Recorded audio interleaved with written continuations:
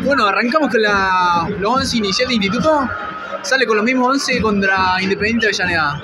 Al arco, el loco Carranza. Lateral derecho, Cirato. Los centrales son Alarcón, Mosevich. Lateral izquierdo, Córdoba.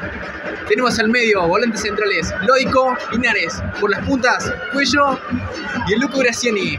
Y adelante tenemos al goleador Martínez. Y por la otra punta, Mar Rodríguez, perdón. Emilio, ¿me decís la, la formación de los suplentes, por favor?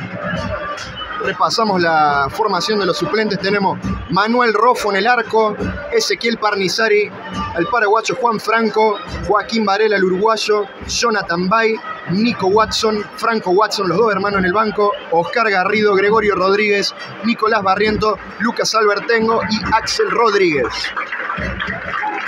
Primera convocación para Axel Rodríguez. Después de siete fechas vamos a ver si el DT le da minutos. Veremos entonces.